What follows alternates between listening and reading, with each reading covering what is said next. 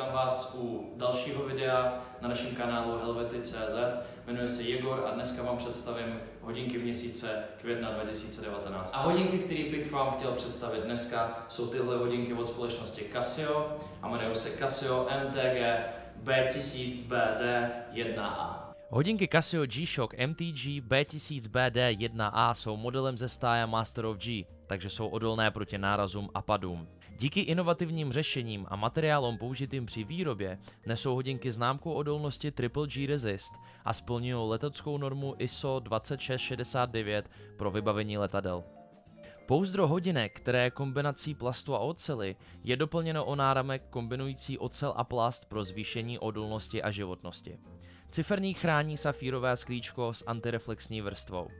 Předností hodinek je kombinace solárního pohonu, rádiem řízeného času, doplněné o možnosti nízkoenergetického připojení hodinek k telefonu přes Bluetooth a inteligentní korunka, kterou lze otáčením a následným stiskem volit mezi funkcemi.